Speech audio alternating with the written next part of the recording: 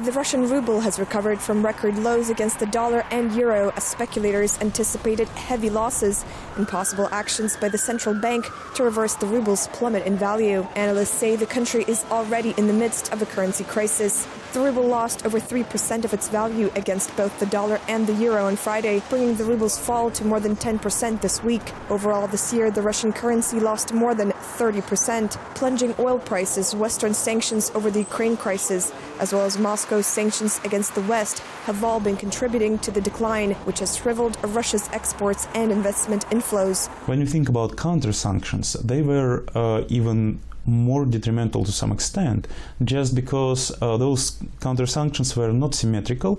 When we uh, don't allow European goods to be imported, so we immediately um, harm ourselves because of price increase, and we at the same time reduce our ability, our flexibility, and our competition in the economy, which again impacts our domestic producers.